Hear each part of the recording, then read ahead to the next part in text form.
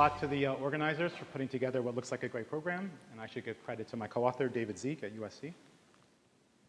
So firm-level microdata show large differences in cyclicality, or exposure to aggregate shocks. And this has direct consequences for the allocation of capital and aggregate TFP. Okay, so in particular, when firms differ in their cyclicality, optimal investment is determined by a sort of standard asset pricing equation relating the expected rate of return on capital, in this case just the marginal revenue product, to a firm-specific risk premium in the cost of capital, which is equal to the usual negative of the covariance of the return with the stochastic discount factor. In this paper, we asked what I think are really the next natural and sort of crucial questions for this line of thought. Namely, first, what are the implications of these patterns for macrodynamics? And second, for the effects and optimal conduct of stabilization policy.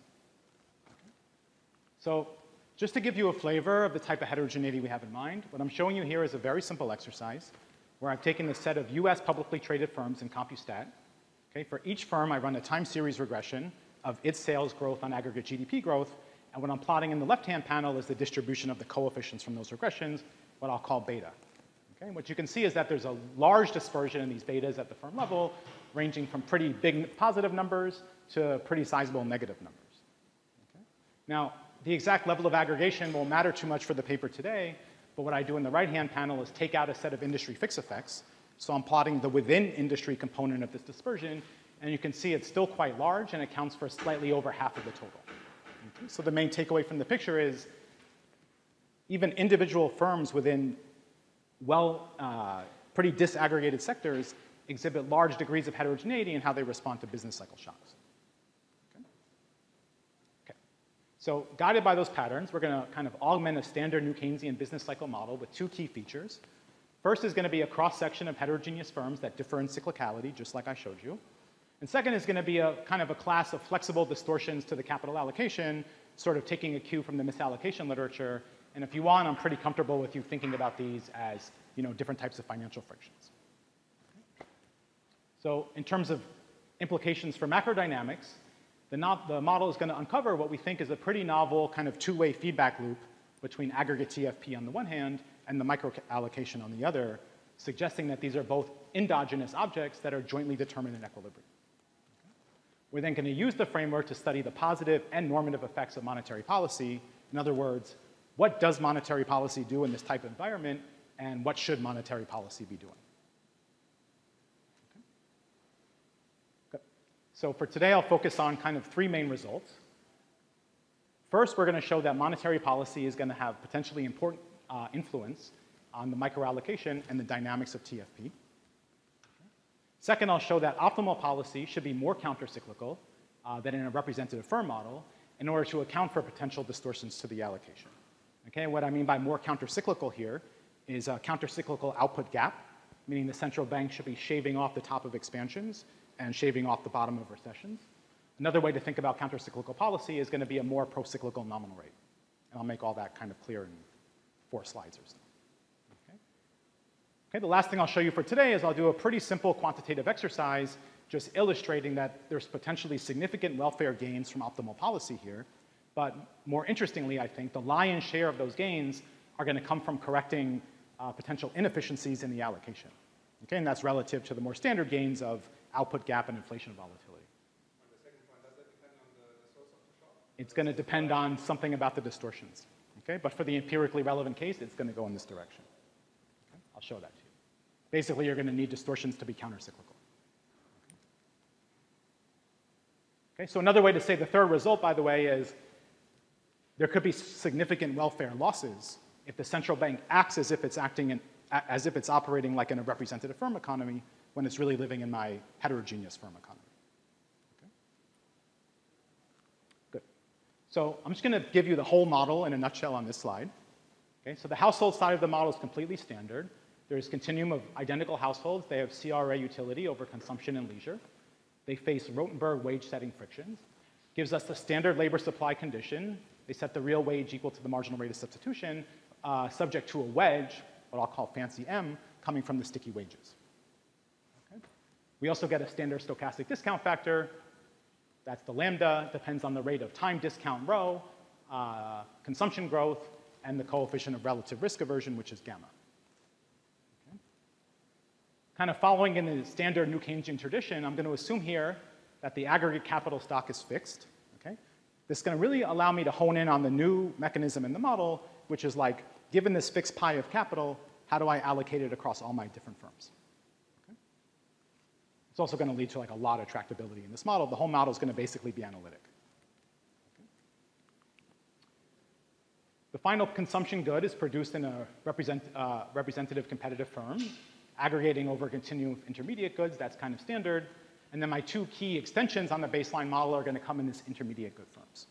Okay, so intermediate firms produce with a standard Cobb-Douglas technology, but crucially, they're heterogeneous over productivity, AIT. And in particular, I'm going to assume that in logs, and from now on, all lowercase letters are logs.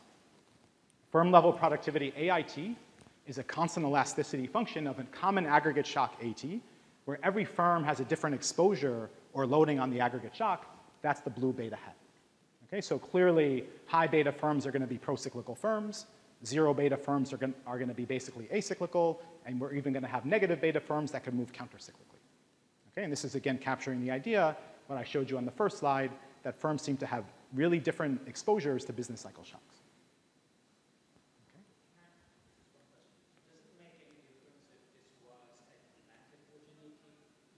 If it was, it all looks exactly the same. In this kind of CES, in this CES environment, it's exactly the same. Yeah, we worked out that case. Okay? So you could think about it that way too. But here I'm going to think about A as like an aggregate technology shifter. Okay? So for now, I'm going to assume that the aggregate shock AT is IID with volatility sigma squared epsilon. In the quantitative work, I'll add persistence. That's not going to matter very much. Okay? And then crucially, in the cross section, I'm going to assume that these beta hats are distributed, distributed normally with a mean of 1 and a variance sigma squared beta hat. And again, that sigma squared beta hat captures how heterogeneous are my firms in terms of these betas in the cross section. Okay. So labor's demand is completely standard. Firms choose labor in a spot market, and all firms equate the marginal product of labor to the wage. Okay. In my second kind of key extension over the baseline model, the investment decision is almost standard. At the end of period t minus 1, firms choose capital for production in period t in order to maximize like expected discounted profits. Okay, this pi is profits. But instead of just using the household discount factor, lambda, they use a distorted version of the discount factor, where this t lambda t denotes the distortion. So this is a this t lambda t is going to distort the discount factor. It's going to distort the capital allocation across firms. It's going to have no other effects in this model. Okay, I'm going to call this like a capital or discount factor wedge. Okay? So for today, I want you to think about the wedge as being just exogenous in a reduced form. In the paper, we give like a whole range of microfoundations, and in particular, we show that the wedge arises naturally in like recent models of financial frictions and business cycle environments. Okay, so as two examples we work out in detail in the paper, limited asset market participation on the part of households, and frictional financial intermediation on the part of banks, both of those models give you a wedge that looks just like this in the Euler equation. Okay, a couple questions. One is the dispersion of productivity is proportional to aggregate productivity. Mm -hmm. So that means all firms' productivity are perfectly correlated. No, because the, the beta can be positive, negative, zero. Yeah, yeah. yeah. But uh, given AT, they all move with AT. It's just different proportion. But some might go up and some might go down right? Yeah. The other thing is, uh, where's the source of uh, distortion? Is it coming from this distortion productivity or from the wedge? Oh, no, no. The betas are efficient in this model at least, okay? The distortion is the T lambda, and there's a second distortion which is going to be the sticky wages. So this model actually has two distortions. One is coming from the nominal rigidity, and one is coming in from capital market frictions. That's going to be important, right? Because monetary policy is only going to have one instrument which is going to be the nominal interest rate. So for today, the wedge is exogenous. It's going to follow this stochastic process. In other words, in logs, which is this tau lambda, it's a constant elasticity function of the aggregate shock as well. Okay, and the sign convention here says when tau lambda, this come back to your question actually, when tau lambda A is positive, we're going to call the wedge countercyclical. Okay, so why is that? Well, the discount factor is countercyclical. That's, that's standard. So when tau lambda A is positive, uh, it means the wedge also falls in expansions. It's augmenting movements in the discount factor. It's making agents in the model act inefficiently averse to bearing risk. okay, because the discount factor is too volatile. Okay, if, if tau lambda A was negative, the wedge would be pro-cyclical, and that would mean it's mitigating movements in the discount factor. Agents are acting like inefficiently risk-loving in a sense. Okay? It's going to turn out the empirically relevant case is counter-cyclical wedge, meaning it looks like there's too much risk in the world. People are acting too risk-averse. Okay? One way you can think about that is there's a, a high equity premium, for example, and that's pretty hard to explain with our models. Good. So that's basically the setup of the model. Let's talk about what the equilibrium looks like. And in a kind of a first result, we show that despite this kind of rich form of heterogeneity, from a macro point of view, the economy is observationally equivalent to a representative firm economy, but where TFP is endogenous. Okay, so what I'm defining in the left-hand equation is a standard definition of aggregate TFP, which is like the Solow residual in like a reduced form aggregate production function. In the middle uh, equation, what I'm showing is that TFP is equal to an average of all the firm level productivities, AITs, weighted by their shares of the capital stock. Okay? In the third equation, what I'm showing is basically the shares of the capital stock are determined by the optimality conditions from the firm's investment problem, which basically say the firm sets the expected discounted marginal product of capital equal to the rental rate. Okay? And crucially, the firm is using the distorted discount factor. So if you stare at these equations for a minute, you can start to see like this two-way feedback loop I mentioned between TFP and the microallocation. Okay? From the middle equation, TFP psi t clearly depends on the allocation because it's got the relative shares of capital in there.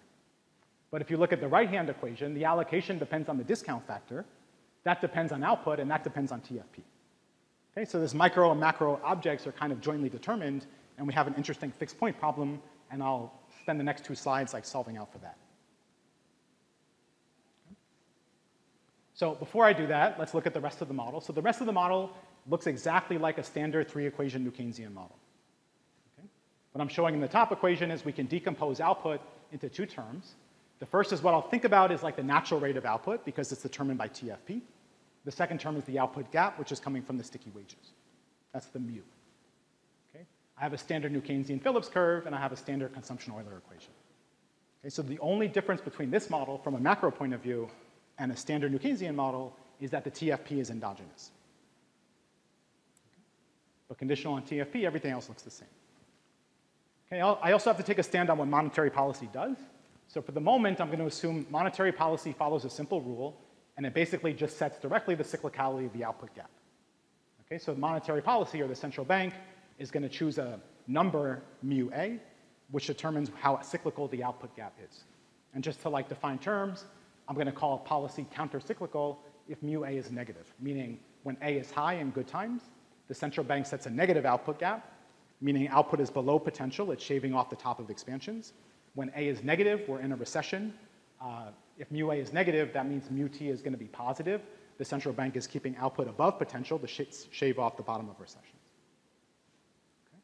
In the paper, we show you can implement this with common interest rate rules like Taylor rules, and just to give you a little bit of intuition about what it means for the nominal interest rate, the nominal interest rate is equal to R star, which is like the natural rate of interest, minus a term that depends on how cyclical the output gap is.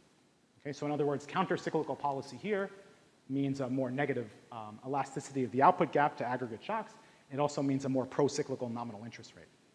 A nominal interest rate that goes up more in booms and goes down more in recessions. Those are all just different ways of defining like the same thing.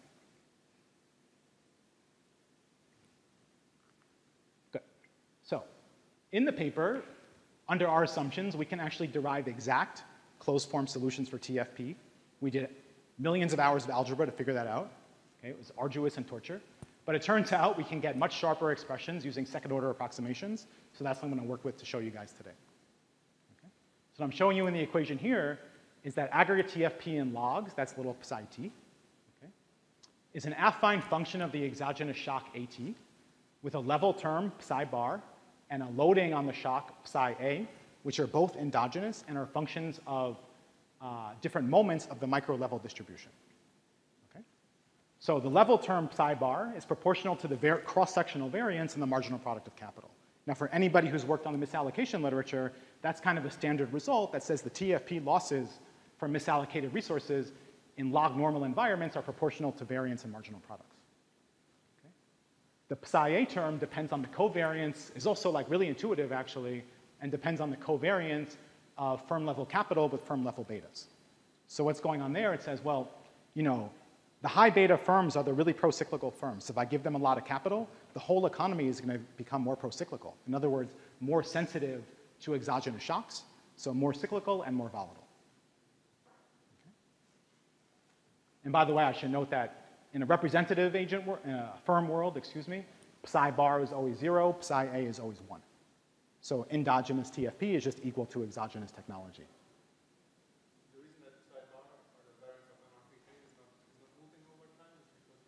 because the approximation is around the ergodic mean. So this is actually the variance of the marginal product of capital in the ergodic mean. Okay? In the IID case, which I'm showing you right now, uh, it's always the same actually. Okay? They're, they're never changing the allocation here. Okay, so clearly, to understand aggregate TFP, I have to understand the determinants of the microallocation. Okay? So to do that, I take a second order approximation to the firm's optimality condition, you get exactly the expression I showed you in the introduction. The firm equates the expected marginal product of capital to a constant uh, plus a risk premium, which depends on the negative of the covariance of the marginal product with the distorted discount factor. So from there, it turns out in this environment, it's so simple. I can solve out exactly for that covariance. And what I'm showing you in the left-hand equation here, it's the product of three terms. So this is the covariance of the firm's marginal product with the discount factor. It depends on the firm's beta, that's the beta hat, the beta i, excuse me. Depends on the volatility of exogenous shocks, sigma squared epsilon, and it depends on a term kappa, which I put in blue, um, which is like a, uh, an endogenous term. It's a risk adjustment, and it captures all the sources of aggregate risk in the model. Okay? What I'm showing in the definition of kappa is there's three sources of aggregate risk. There's fluctuations in TFP. Okay? That's endogenous and depends on psi a. There's fluctuations in the discount rate or capital wedge, that's the tau lambda A, and there's fluctuations in the output gap, that's determined by the central bank. So firms with a higher risk, uh, risk premium, beta, kappa, sigma squared epsilon, have higher marginal products of capital. If you look at the effects on the capital allocation on the right-hand side, it says expect, um, conditional on expected productivity at the firm level, firms that are high risk choose a lower level of capital. So those firms are not getting as much capital as they would if the world was risk neutral. And by the way, I didn't just highlight random things in blue. I highlighted things that I thought were kind of new, things that are like kind of important, or things that I thought were like new and important. Same with the R range, by the way. Good. So now that we understand kappa, kappa is like the key object here, we can directly see how monetary policy affects aggregate risk and so the microallocation. Okay, so let's think about countercyclical policy, so a negative mu a. Okay? That's going to reduce kappa, and so the amount of aggregate risk that's out there. Why? What's going on? Well, aggregate risk is coming from volatility and consumption, essentially. Okay? If the central bank is stabilizing, meaning countercyclical policy, it's making consumption less volatile, and that's reducing the amount of aggregate risk that's out in the world. Okay? Once it does that, what does the private sector do? The private sector as well says, well, there's less risk out there. I'm going to take on more risk. And so it starts to shift capital to the high beta firms, increasing the covariance of K and beta. A second effect is going to say, okay, when kappa is smaller, the capital allocation is more aligned with expected productivity, which is this expectation of A, less determined by risk considerations. So I'm going to get a more productive allocation in the cross section. The variance of marginal products falls. So this is like the effect of monetary policy on these two kind of crucial moments of the micro level capital allocation. Okay? So once we understand that, it should be like immediate how monetary policy is going to affect the dynamics of TFP. Remember, TFP is an affine function of the exogenous shock A.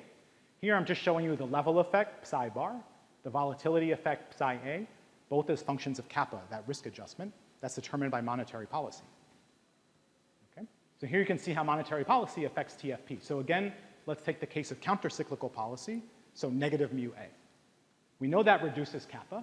On the one hand, like I just talked about, that's going to increase risk-taking in the economy. The economy is going to shift capital to the more pro-cyclical firms. Psi A is going to increase. The economy is going to get more volatile, or TFP is going to get more volatile. On the other hand, dispersion in the marginal product of capital is going to fall. Psi bar is going to go up. The allocation is going to get more productive.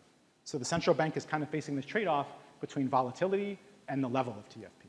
Okay, those things move the same directions. So there's sort of two key insights, at least to me, that I want you guys to take away. First, monetary policy here has long run, in other words, permanent effects in this model, despite the standard formulation of nominal rigidities. Okay, and we thought that was a really interesting result. And what's going on is, well, you know, in this heterogeneous firm economy, the production possibilities frontier is determined by kind of exogenous productivities and how I allocate the resources across firms. And so monetary policy, by changing the allocation, is pushing us further away from or closer to our production possibilities frontier. Okay? The second kind of interesting implication is these reallocation opportunities actually dampen the effectiveness of stabilization policies. Okay, so what I'm showing you here is the standard deviation of output depends on the standard deviation of TFP and the output gap. Okay, in the standard model, the first term is exogenous, so we can kind of ignore it. In this model, if I start to reduce mu A, I start to increase psi A. So TFP itself becomes more volatile as the central bank is trying to stabilize output.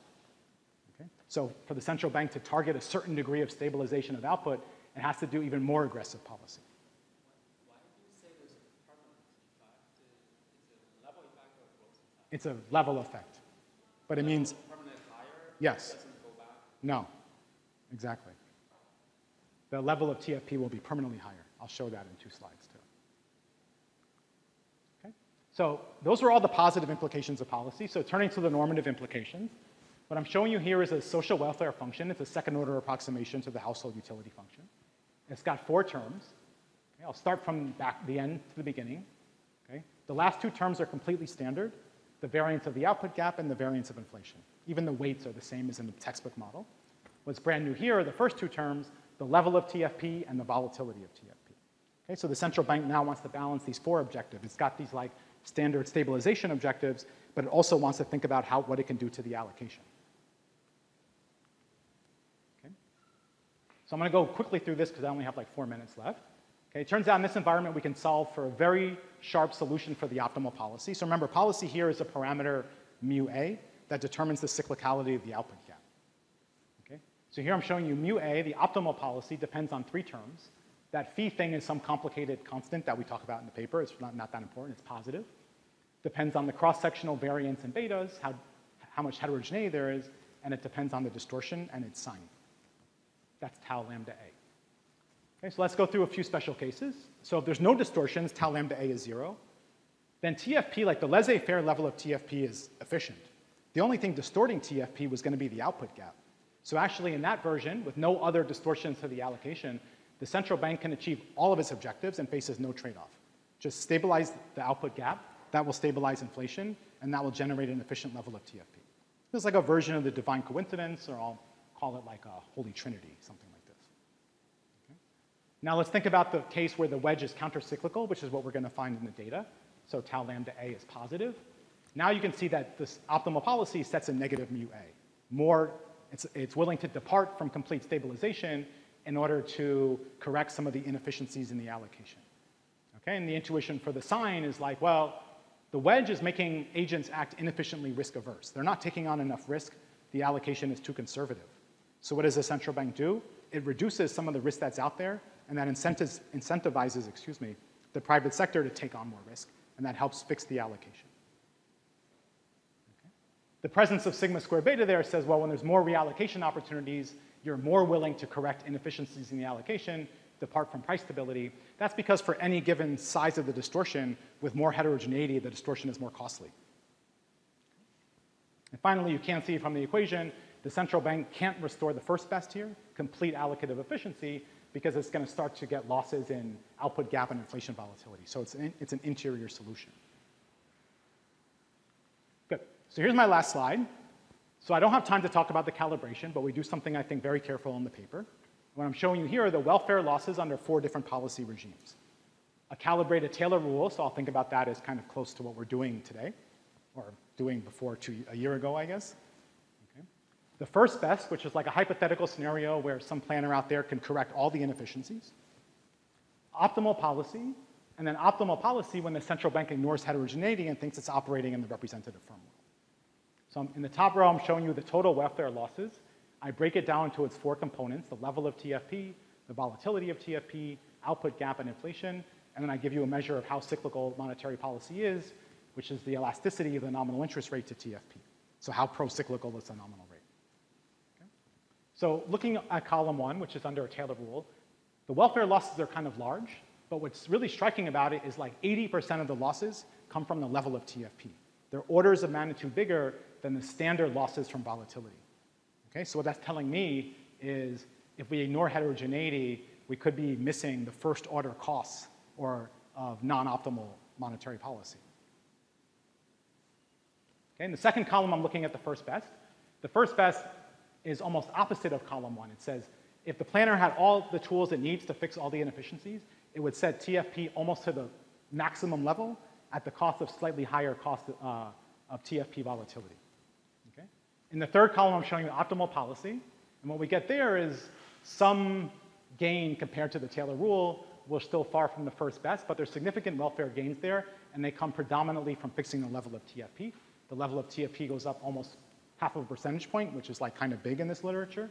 And the way that the central bank is accomplishing that is through a much more pro-cyclical nominal interest rate, much more aggressive counter-cyclical policy. And in the fourth column, if the central bank ignores heterogeneity, yeah, it stabilizes completely the output gap and inflation because that we know is the known result in the representative firm model. That's what the central bank would do if it was ignoring heterogeneity. Um, but here it would miss out on almost all the losses from correcting the allocation. In fact, it has larger TFP losses under that policy than under the more naive Taylor rule. Okay. So I'll stop there. Uh, I have lots more results in the paper, so here's some shameless advertising. Go take a look at it. We do a lot of stuff. Okay, so thanks very much.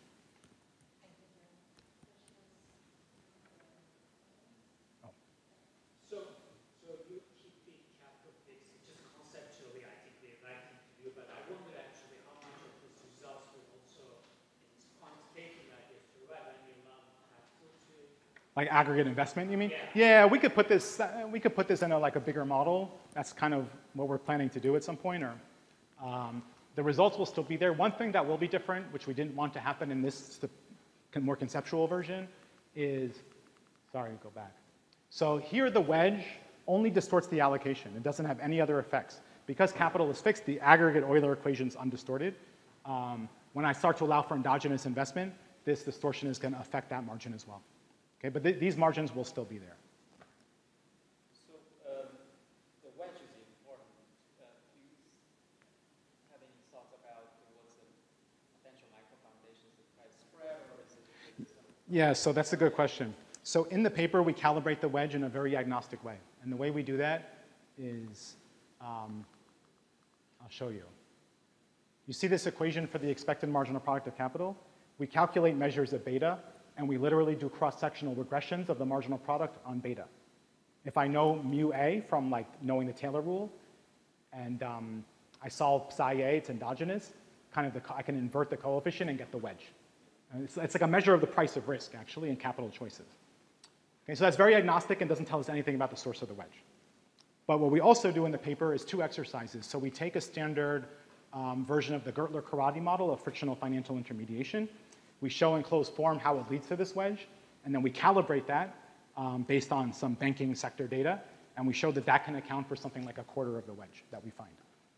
Then about a quarter. Then we do another version where we wrote down a model um, of limited asset market participation, so only a subset of households hold capital, and a subset are hand to mouth. And then the wedge becomes a factor of um, uh, the fact that the distribution of income is moving over the business cycle and it's making the discount factor of the capital holders different than the aggregate discount factor. Okay? So we calibrate that model to match like moments of stock market, and it leads to exactly this wedge, literally. So then we calibrate that to match like stock market participation and something about markups, and we also find like a quarter. So we have these two kind of theories, together they account for about a half. I think we could do something much more careful in the future, but that's just to give you guys like a sense of, it relates to you know, well-known microfoundations and they look kind of quantitatively important. But they can't get me all the way to what I measure in the data. Because it's almost like asking, how much do they get me in terms of the equity premium? It's kind of very similar to that, and they get you about halfway. Does that answer the question, though? Two questions. Um, the first one is, I'm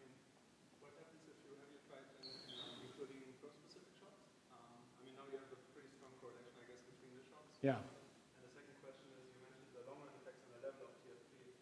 Um, in the calibrated model, how does that link to the evidence and broader data link to the Ah, okay. So one more thing to, about his question, I'll come to yours, by the way. The wedge is important, but only for the normative implications, not for the positive implications. Good. Coming to your question, first, idiosyncratic shocks. Yeah, we could put them in. They don't do anything here because uh, we have complete markets, so idiosyncratic risk is diversified. So they add a bunch of constants across my equations, but they don't do anything else. Okay. The second question is on, on their stuff. Um, I mean, they're more about growth and they have like endogenous uh, innovation. Ours is just coming through the resource allocation and it's a level effect. I've actually worked out a version of this that has growth effects, um, but it looks quite different than what they're doing. It's nothing about innovation or creating new product lines or R&D. It's just about the fact that the allocation is changing over. But one more thing, sorry, one more thing I should say. They, their evidence is also based on the impulse response to exogenous shocks, like one-time unexpected shocks. That type of shock almost does nothing in this model, because this model is all about expectations. So if I just hit this economy with an unexpected one-time shock to monetary policy, let's say, nothing changes. Or you just get the standard results you would get in the representative firm model. This is all about what's going on with the firm's expectations of the future discount factor.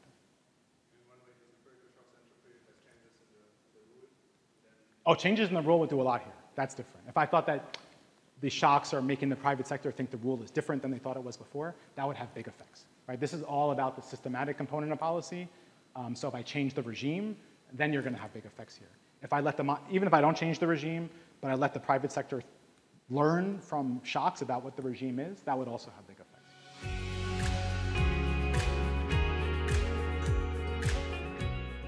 As we've just seen, and as the rest of today's session is showing, and in fact, there is a citation missing, which is yours. Um, I'm sorry, this slide is already terribly outdated. Um, so, um, as we've just seen, um, and as, we, as we'll see, um, heterogeneity has been shown by recent very active literature to um, affect the transmission of monetary policy. Um, and that then, of course, raises normative questions, as again, Zeke just, dis uh, just discussed. And um, one question that has attracted a lot of attention among policymakers is capital misallocation. Um, and this has been kind of, maybe this research agenda has been kicked off by these distributions here that showed, um, in particular, the paper by Gopinath et al. It was quite influential. It showed that low um, real interest rates may lead to higher capital misallocation. And from there, it was then only a small step for central bankers to pick this up and ask, you know, if low real interest rates are bad for capital misallocation, then what does this mean for, for the conduct of monetary policy? And kind of, if you extrapolate this, um, that means that low nominal interest rates should also be bad for capital misallocation. And, and you know, then it becomes an argument for the inflation hawks in this world. Um, and given this debate, what we try to do in this paper um, is to provide an answer to the question, what is the implication for the optimal conduct of monetary policy um, of capital misallocation? Okay, so that's our research question. How, does how is optimal monetary policy be shaped um, by the interaction of monetary policy with capital misallocation? Now, in order to do that, um, we need two things. We need first a model, a model that helps us to understand how capital misallocation is affected by monetary policy. And by the way, just as in Zeke's presentation, a lot of things that are going to just perfectly resonate what he just said. Capital misallocation is going to be perfectly summarized by endogenous total factor productivity, um, just as, his, as in his paper. And, and we, we looked at the literature. We didn't find, I mean, because his paper wasn't yet there, this is three years ago, four years ago, uh, we didn't find any kind of um, workhorse model that can do this. So we thought, let's write a model um, and let's be as conventional as possible and at the same time let's try to be tractable. So we took the standard New Keynesian model um, that you know, provides us with the mainstream view of how monetary policy works. And let's combine that with a tractable model of firm heterogeneity and capital misallocation. And here we chose the model by Ben Moll um, because um, it appeared to be very tractable to us, but now I see it can be done even more tractable. Um, and then um, we said, okay, now we have a model. Um, and um, so we thought, if we want to do optimal policy in this, we have a problem because this model, and that's maybe one difference, doesn't allow for analytical solution. So generally, Hank models don't allow for analytical solutions unless in special cases like, like yours, Zeke, and um, um, ours, ours doesn't. Um, and so we had a problem. So we have a Hank model, and we need to solve optimal policy. Problem is, the literature is just in the process of developing um, recipes of how to solve this kind of problem. Um, and so we came up with a way to do this um, that is different from the two, three contributions that were around at the time, um, in particular this one and that one. These are the computational contributions that were around at the time. Um, and we have a new way to do that. So if any of you guys have a Hank model at hand, wants to do an optimal policy question in that environment, and it's not aggregatable, so you can't do it closed form or paper and pencil, well then this is a numerical way to do that, which is really, really, really simple um, and super general. Um, and um, yeah, and, and I, maybe I'm going to have time later on to talk a little bit more about how we do that. Um, okay, so that's, that's kind of the two instruments that we need, um, a model, a method. Now what do we find? Um, first, regarding the transmission of monetary policy, we showed that an expansionary monetary policy shock increases total factor productivity, um, which is um, nicely in line with empirical um, research, where some of those people are in the room, um, that have shown that, uh, using aggregate data, that expansionary monetary policy shocks indeed lead to an improvement of the allocation um, of capital in the sense, well, no, they have not shown that. They've shown that it leads to an improvement of total factor productivity through whatever channels. And this can happen through capital misallocation improving or through other channels. We are proposing that it happens through capital misallocation, but these other papers, they're proposing other mechanisms through which it can happen. But no matter what is the mechanism, the aggregate um, evidence suggests that indeed expansionary monetary policy shocks are good for total factor productivity. Okay, so now you say, okay, your model is in line with that aggregate result for TFP, but that doesn't mean that it must be your channel, could be one of those other channels. Well, then we look at micro firm level data from Spain and we show, um, we find evidence um, for our particular channel. And how does our particular channel work? Well, you know that an expansionary monetary policy shock increases aggregate investment. That's well known. Um, now the question is, who does that investment? And if that investment is done, is done, this additional investment, is done by the most productive firms in the economy, then it's a good thing. And if it's done by the least productive firms in the economy, then it's a bad thing. And it happens to be the case, both in the model and the data, that it is the most productive firms, the most constrained firms, the firms with the high MRPK, um, that are um, um, over proportionally investing in response to a monetary policy shock. Okay, so that's kind of the positive features of the model. Um, having compared them to the data both at the aggregate and at the micro level, we're then kind of confident to use the model for optimal monetary policy analysis um, with our new method. And what we find is, uh, first of all, a new source of time inconsistent, um, of time inconsistent, uh, a, new, a, new, time inconsistency problem for the, for the central bank. So the central banker wants to engineer a surprise inflation, just as in the standard New Keynesian textbook with a distorted steady state. So kind of the same logic applies here too. We have a different type of distortion. This distortion can be ameliorated um, by, an by, an expansionary monetary policy according to point one on this slide, and hence that's what you want to do. But this only works if it's unexpected, and that's why um, this is a time, time inconsistency problem. And if we um, then restrict ourselves to timelessly optimal policies, that is to optimal policy, optimal policy rules in the long run, um, we find that the divine coincidence continues to hold, um, which we thought, okay, that's boring. But then we realized that the way that you implement the divine coincidence requires a much larger, that resonates again very well with what you said, requires a much larger volatility of the nominal interest rate. Um, and that's no problem if you can do that, but maybe you cannot do that because you're constrained by the zero lower bound. And then what you will get, if you're constrained by the zero lower bound, is um, a low for longer in order to, low for even longer um, in order to compensate for, um, for uh, the, the, lack of the possibility to lower interest rates by more. All right, um, now I'm going to give you only a brief overview um, of the model. Um, I'm going to start with a picture. So, so this is basically the model. We took the standard New Keynesian model. These are the blue building blocks with capital. That's, that's the difference to yours. And so we have capital production. Um, we took that off the shelf. Households, capital producers, retailers, final goods producers, central bank, they're all the same guys that you already know.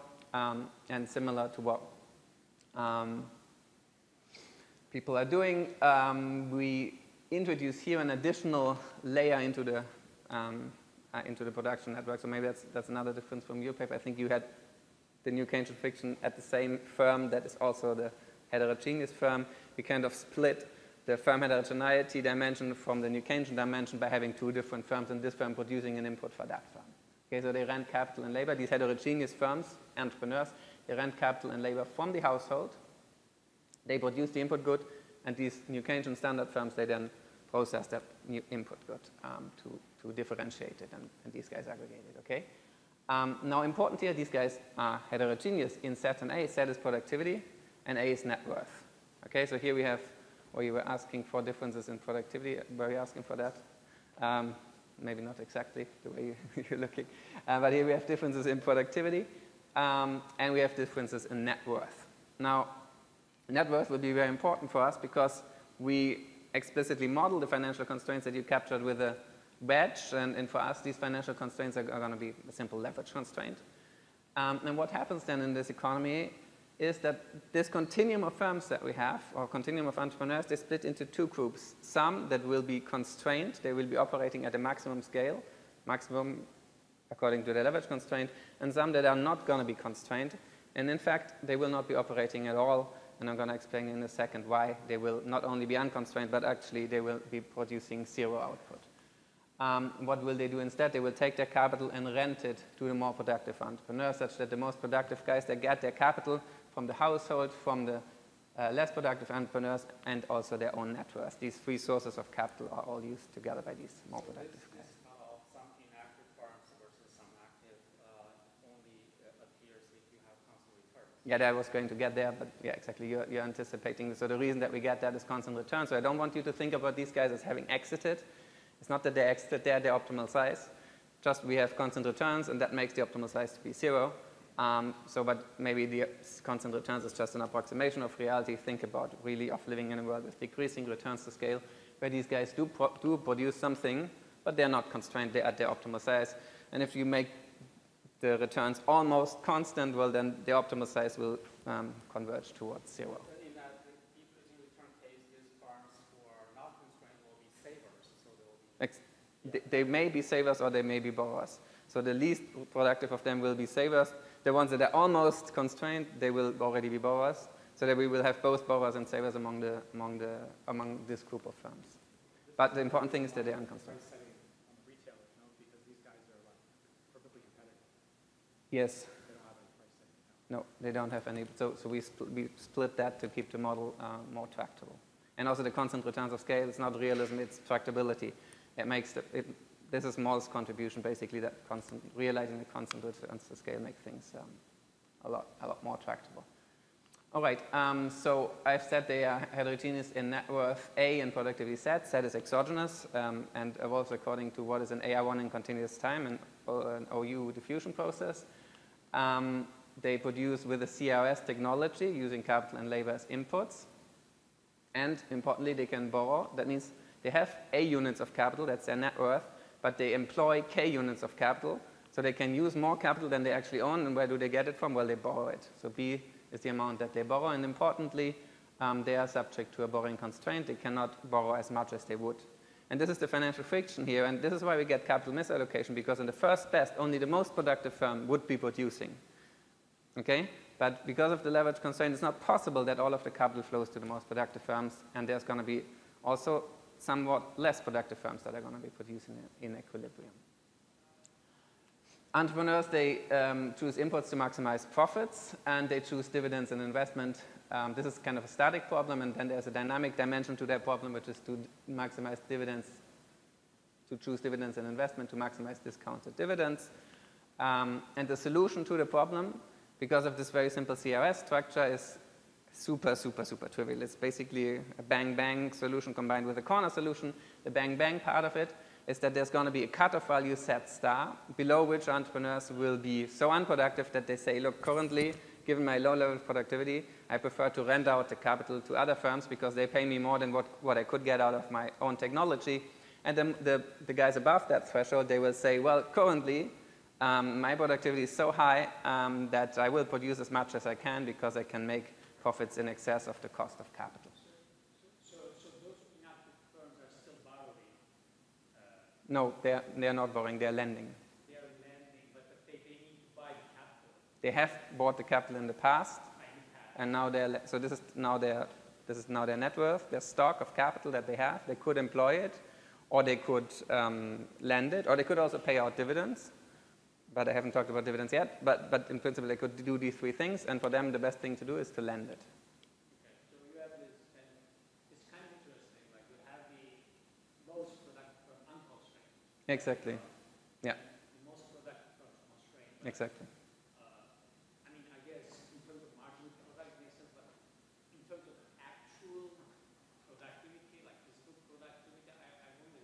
Yeah, so you have to think about marginal product here and not about actual product. It's just with CRS, they are equivalent, yeah? And but with, with, de- with decreasing returns to scale, they wouldn't no longer be diff- they would no longer be um, equivalent, and then the picture would be different and, and more nuanced. But everything you have to think about marginal return to, uh, mo- uh, to capital here.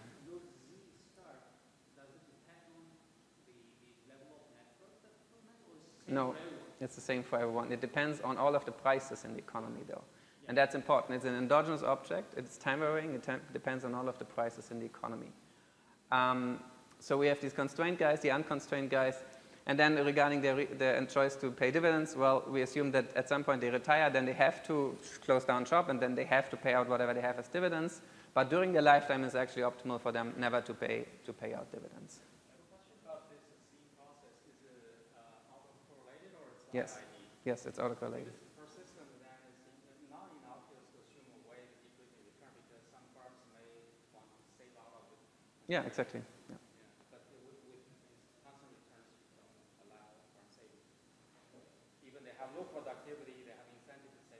case in future. Exactly. That's exactly what they're doing. They're still saving. They're still saving optimally. Um, that's the- because they know that they can pay out to the household. They can do that, or they can keep it in the firm. If they keep it in the firm, well, if they are low productivity, they also can invest into the other firms, just like the household. So they have the same, always the same opportunities as the household. But sometimes, when they have a lucky draw and they grow out of their low state towards a high state, um, then they can actually make more um, than, than the household. And that's why they will, will, not, will always save. So basically, Moll's paper shows that the more persistent Z, the less fight this financial person has because the entrepreneur is Exactly. Yeah, exactly.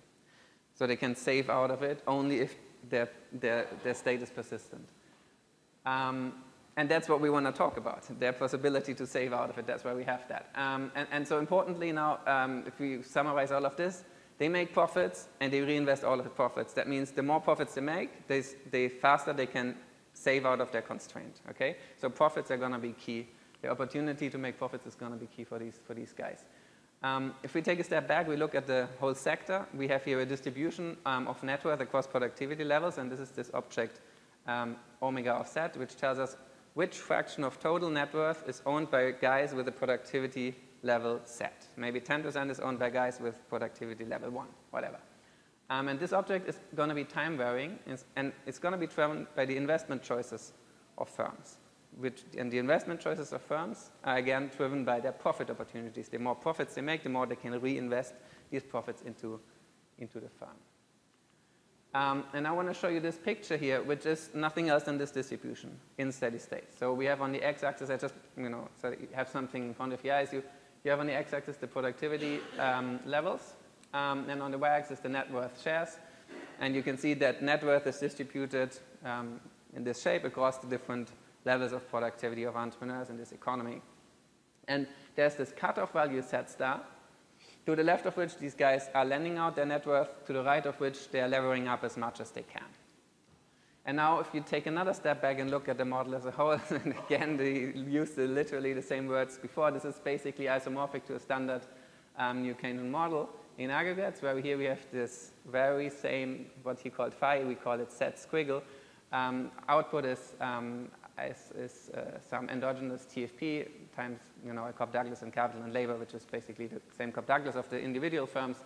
Um, and what is this set? Well, set is the expected or set is nothing else than the average level of productivity um, of the firms in the economy using that net worth share distribution to, to compute that average. And, and it's important that this is, this is the condition, conditional on set being larger than set star because the, the entrepreneurs that are below set star, we don't care, they don't produce.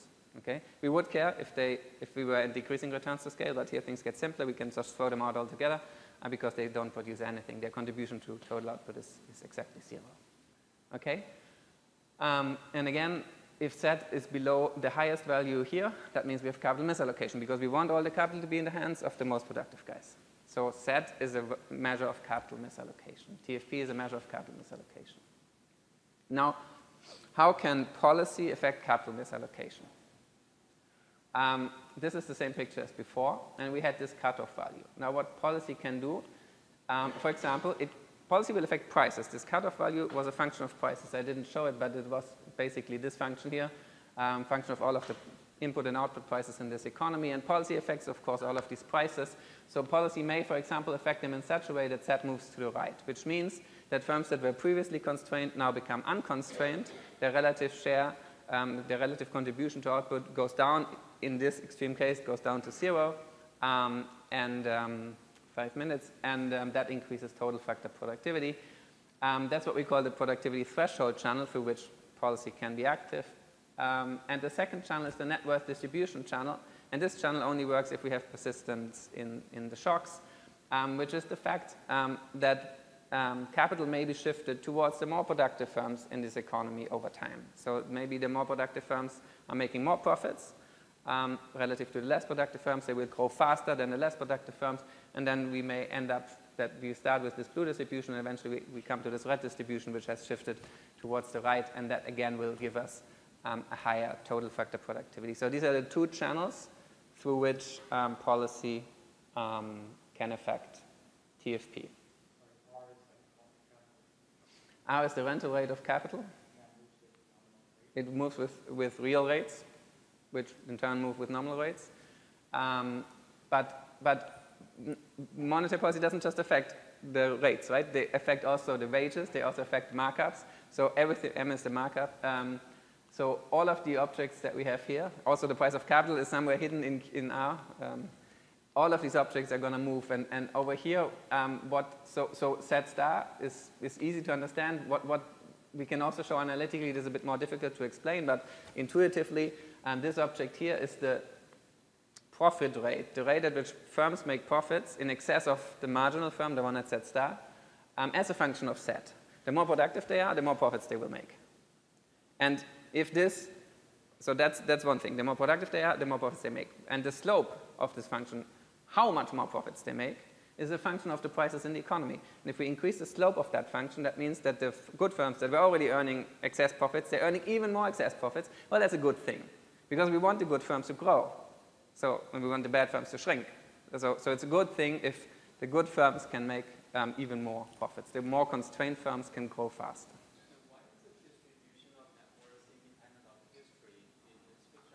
It's not independent of history. Uh, so it depends on Z, looks like. Uh, the distribution of net worth de depends on Z, yeah. Is it in Q or is it in So this object is, has a t here. So this distribution has a little t. It's time varying. And here you can see one particular example of how it has varied from the blue towards the red. And Z star is endogenous also. It's also endogenous. These are two different yeah, channels. Lose the distribution network and also affect Exactly. So these both channels will always be active at the same time. Um, now I'm running a little bit behind, um, so I'm gonna um, jump straight to optimal policy. Now we're gonna do Ramsey optimal policy. I'm gonna show you impulse responses in a second um, to, just, to just illustrate what I said at the beginning, but, but we're gonna do Ramsey optimal policy. We have a new method, I'm gonna skip it. Um, here we're gonna do first time zero optimal policy. We start at a steady state of the Ramsey problem, um, and we allow the, allow the planner to optimize, and we re-optimize. And we're gonna by the way, the steady state is zero inflation. And we're going to compare the rank economy, which is a special case of our economy with complete markets, the red line, and the Hank economy or the incomplete markets economy, the blue line. Um, now, the red line, we have time consistency. Why? Because we um, undo the steady state markup with an appropriate um, tax or subsidy. Um, so we get nothing. Zero inflation is still optimal. Um, that's the red line is constant. Now, in the model with heterogeneous firms, we get a burst of surprise inflation. Why do we get a burst of surprise inflation? Well, this burst of surprise inflation is going to, through the two channels that I've just um, illustrated schematically, through these two channels, is going to increase total factor productivity in the medium run, is what we, what we can see down here. Um, so total factor productivity goes up in response to a burst of the price inflation. What's a burst of the price inflation? Well, that's a standard monetary policy shock. So the yellow line that is just below the blue one is a standard monetary policy shock that we've just scaled up to the same size. Um, so, so a standard monetary policy shock is the optimal policy prescription um, in, in this model. Why? Because by allowing the large firms to grow faster, and by reducing the large firms, the productive firms, not large firms, the, the constrained firms, whether they are large or not, I don't care, but they are constrained. They are, have high marginal productivity. These guys grow faster um, than, than the less productive guys. That's good. And at the same time, also the threshold moves up, which means that firms that were previously constrained, the ones that were just constrained, they stop being constrained. Um, and that's also good for total factor productivity. So, so through both channels, we get this um, increase in total factor productivity. And now, how am I doing, Eva? I have probably one minute left. Um, we can do also timelessly optimal policy, um, which is what Zeke was doing more or less before, or not more or less, I think exactly. Um, we're looking at uh, a demand shock, that, that's a time preference shock, um, savings, uh, savings glut, if you want. We get a divine coincidence, okay? So optimal inflation is zero and the output gap is zero. Um, but as you can see, the, the natural rate, which you have to follow, drops by more in the model with financial frictions than in the model without financial frictions because total factor productivity, in this case, responds negatively. Which, by the way, links up nicely with the Gopinath et al. paper because that's the kind of shock that they are, they are analyzing. So a monetary policy shock is not the same thing as a savings glut. Both of them reduce real interest rates, but the effect on total factor productivity on misallocation is not the same. Um, so this time um, we get um, a reduction in total factor productivity, which brings about an even stronger reduction in the natural rate. And then when you're constrained by the zero lower bound, well, then you can't follow, which is the dotted lines.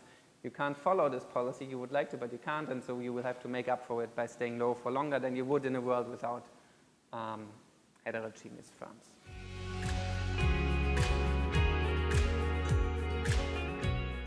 So thank you very much to the organizers for having our paper on the program. So this is a joint, joint project with uh, Ricardo Lagos at NYU. Um, and yeah, let me just jump straight into it. So in this paper, we, are all, we also address the topic of how monetary policy affects firms' investment. However, this is a fully positive paper. We, we don't do normative analysis like the other previous two papers. Um, more specifically, we're interested in a specific mechanism of monetary transmission that people sometimes have in mind when talking about different channels of monetary transmission.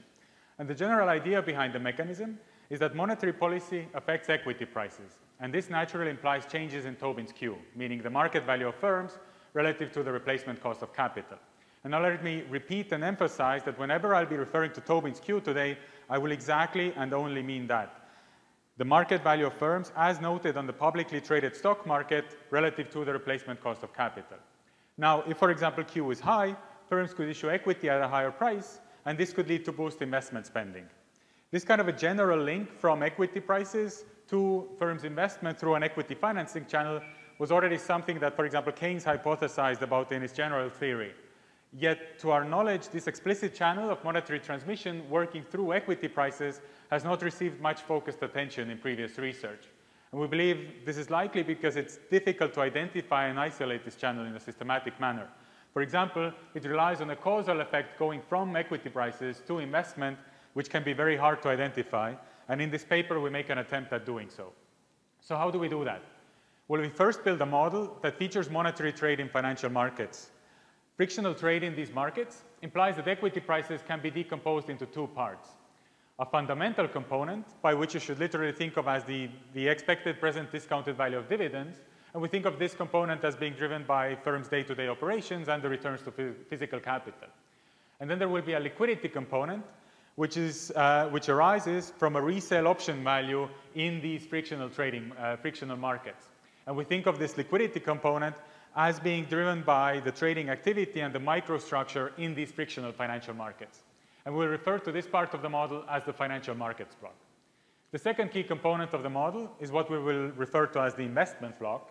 And this consists of uh, entrepreneurs, who will interchangeably refer to as firms, who make capital investment decisions while facing financial frictions and being able to raise funds by selling off equity claims. The key takeaway from this block is that because these firms are financing themselves or can finance themselves with equity issuances, equity prices can have an effect on investment, but actually they will only affect the firms who are financing themselves with equity at the margin. Now, how does monetary policy matter in all of this? Well, because monetary policy affects the opportunity cost of holding the liquid assets used for settlement in these frictional financial markets, it has an effect on the trading activity and the resale option value embedded in this liquidity component of equity, and this then leads to effects on equity prices. Most importantly, the strength of this effect of monetary policy on an individual firm's equity price depends on the trading volume of this firm's equity in these equity markets. So when we will go to the data, what we will do is use these insights and construct an instrument for cross-sectional variation in firms Tobin's Q by interacting identified monetary policy shocks epsilon m and observed cross-sectional variation in firm stock turnover, calligraphic T, I, I for firm, to construct an instrument for Q and get at estimating a causal effect of stock price fluctuations on firms' investment and their capital structure. Now, before I jump uh, into the model and into the paper, uh, let me just very quickly mention uh, how we touch the literature just to put the paper into perspective. So, of course, talking about Tobin's Q, we touch the, the huge literature on the Q theory of investment. Yet our current reading of this literature is that this literature doesn't concern itself with which way causalities run. Rather, this literature focus on, focuses on testing Q theory in the sense of testing whether observed investment rates correlate well with measures of the shadow price of a unit of installed capital. In this literature, that's called marginal Q. Now, marginal Q is not observable in reality, so many papers have resorted to using stock prices, meaning Tobin's Q, to proxy for marginal Q. But in none of these papers, the stock market plays a causal role in affecting firms' investment. And this really brings us to the third bullet point where our paper fits in, that there actually has been a long literature of, of people thinking about these ideas of whether anything that happens in the stock market should or does have an effect on firms' investment. Sometimes these papers are formulated in the sense of should stock market bubbles affect investment, or should stock market mispricing or sentiments affect investment? But the general idea behind all these papers is kind of in line exactly of what we want to do. And so what we do is we build, um, or how we contribute to this literature is we build a simple equilibrium model to, to even think about these ideas, and then we propose a new instrument to generate variation, exogenous variation in Tobin's Q, not driven by marginal Q, to, to try and get at these, these causal effects that we're after. So let me jump into the model. So in this short amount of time, I'll have to cover a big chunk of the model only very briefly. So from the, from the financial markets block, uh, what I need you to take away is just one equation, and that's the pricing equation for the equity of an individual entrepreneur by outside investors. So phi uh, sub t is just the ex, uh, ex-dividend price of equity at time t in this model. These outside investors pricing this equity, they have discount fact, discount factor beta, and they get utility from consuming the dividends paid by equity. And epsilon bar is simply the expected utility that an outside investor gets from consuming the dividends paid by a unit of equity. The second term here is simply the continuation value of equity, where pi is an exogenous survival probability of, of a firm. And because we model equity claims really simply as claims on the stream of returns from a unit of capital, that's why we have this uh, depreciation term delta here coming up as well. And now finally, these outside investors will have time-varying idiosyncratic utility from consuming the dividends that they can get from equity. So sometimes they will want to sell, and sometimes they want to buy the equity in these frictional financial markets. And now the idea that there's this opportunity or potential opportunity to sell to a market where there are investors with potentially higher valuation than yours gives rise to a resale option value of equity, calligraphic R here in this equity pricing equation. Two variables are key in determining the size of this uh, resale option value. First, the turnover rate of the stock in financial markets, which I'm capturing here with this fundamental parameter alpha, and this really captures your willingness or how able you are to sell equity off in the financial markets if you want to do so. And secondly, monetary policy, which here I'm just denoting in bold R, which captures the future stream of nominal interest rates. Um, and these nominal interest rates govern the capacity of potential buyers to buy the equity from you in case you want to sell. The idea is that the lower the nominal rates in the economy, the lower the opportunity cost of holding money that is used to pay for the equity in this economy is. So when nominal rates are low, real balances held by the investors are high, And so potential buyers are able to buy more of equity and push, push up the, the equity price in this economy. And this is where the effect, the only source where the effects of nominal, sorry, nominal rates and monetary policy come into play in our model. We, we're trying to keep it super, super simple to illustrate kind of the key mechanism that we're after. Now, as to illustra for illustrating the investment block of the model, here I'm just presenting the full dynamic problem of an individual entrepreneur here. So J is the value function of the entrepreneur, and the individual states of the entrepreneur are first A superscript B, which are just liquid financial funds. In the model, they are held in the form of bonds uh, that these firms use to, to, to manage their, uh, their financial wealth across time. In reality, think of this as firms' cash, time deposits, treasuries, whatever you wish, that kind of uh, firm financial assets that they hold. Uh, and we call them liquid to contrast them to productive physical capital, K. Yep.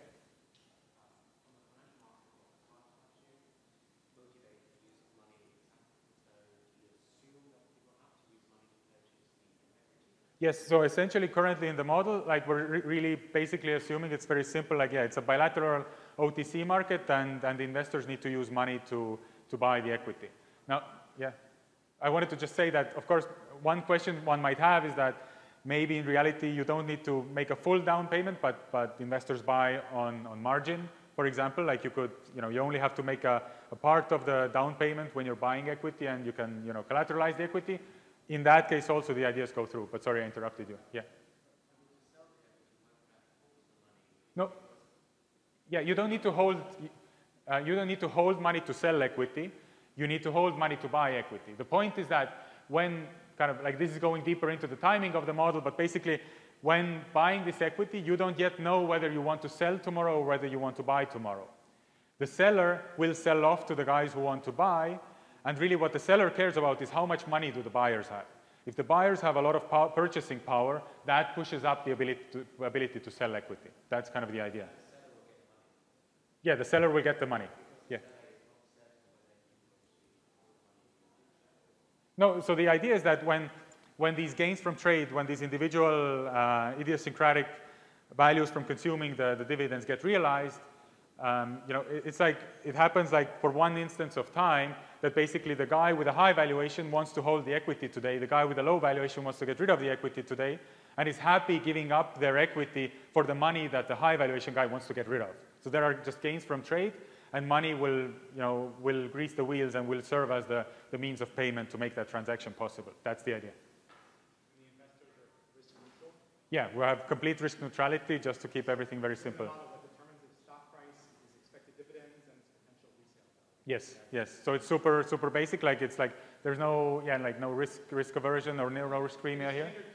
Model, I guess I would think about, you know, standard thing with adjustment costs, and I would get something like I over K. So I mean, we're getting to that, but the point is, like, we want to break the standard Q model into two parts. We want to have inside entrepreneurs who run their firm like a standard Q model, but we want them to face financial frictions and have the potential to go out and sell their equity at this price to outside investors. So we want to break up the kind of classical Q model where everything is bundled together into this two-part to even tell this story of, you know, being able to raise funds by selling equity to some guys who price the equity with this, with this price. Yeah? So like here we're thinking of, you know, we're, here we're following the usual uh, kind of like standard assumptions in the, in the market microstructure literature to give rise to, to gains from trade. So it might be disagreement, just like, you know, micro foundations for this could be just, yeah, like some uh, investors get good, uh, good signals, some get bad signals, that might be one. Another one might be some investors get hit with a liquidity, uh, with a need for liquidity, and then they want to get rid of. So those are the usual stories behind this. Here we're really following, like we're keeping it super, super simple, and we're just introducing this with a, you know, with a, a temporary one-period valuation of how much you value the dividends in that period. Okay.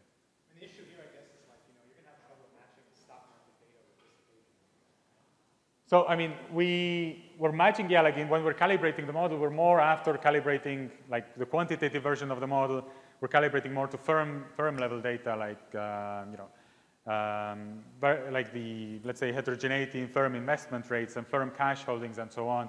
Like for quantifying the model, actually the, like the fluctuations or I guess you're after risk premia, like in our, in our quantifications of the model right now. Like we're doing it really simple where we'll just have a fully basic steady state and when we shock the model later, we just do like an IID unexpected shock and trace the monetary shock out of that. Okay. Um, but right now, yeah, I'm just kind of building up to, to justifying our empirical approach. So as for the entrepreneur's problem, so I said these are liquid financial assets, uh, productive capital K, and S here denotes the uh, equity outstanding that the entrepreneur has issued already in the past period. These entrepreneurs choose discretionary, discretionary consumption Y, how many liquid funds they want to carry forward AB, how much to invest X, and how much new equity to issue E. Here you see the entrepreneurs getting utility from discretionary consumption, plus utility from consuming the returns from capital on which they have not yet sold equity claims on, so this will come in the next period, and epsilon E will be the entrepreneur's own valuation of these, uh, uh, these returns, and then continuation value conditional on survival. Here you see the budget constraint, which is that the cost of discretionary consumption plus investing at the most basic, uh, sorry, investing subject to the most basic convex investment adjustment cost, as in basic Q theory. Um, so these are the adjustment costs, plus the cost of acquiring liquid financial assets at price VB, need to be covered by any new equity issuances at price VS, plus any incoming liquid funds. Here you have the corresponding laws of motion of capital and, and the stocks outstanding, and here you have the corresponding non-negativity constraints as well. Most importantly, note that also these entrepreneurs' liquid financial asset holdings have a lower bound, so these entrepreneurs are, are effectively facing a borrowing constraint as well, so they, they potentially might be financially constrained. And that's where the, you know, the, the reason to potentially issue equity comes in. So to characterize in the simplest way of how stock prices in this model affect firms' investment, we consider first a very simple case of the model where all the entrepreneurs born in period T die with certainty in period T plus 1. Here I'm just introducing some notation, but think of like the most basic convex adjustment cost as you have in the textbook Q theory, and everything here uh, is uh, homogeneous of degree 1 in capital, so we can write everything in investment rates.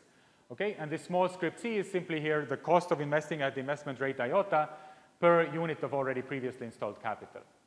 And let me introduce this notation of iota phi as the investment rate that exactly equalizes the marginal cost of investing to the number phi.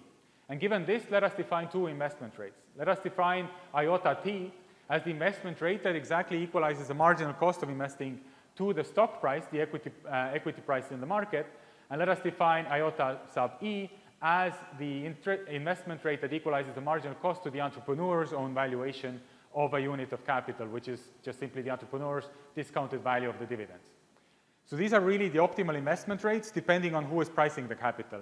Is it the outside investors or is it the inside, the insider, the entrepreneur? Now given this, the, the, the characterization of the entrepreneur's problem is very simple.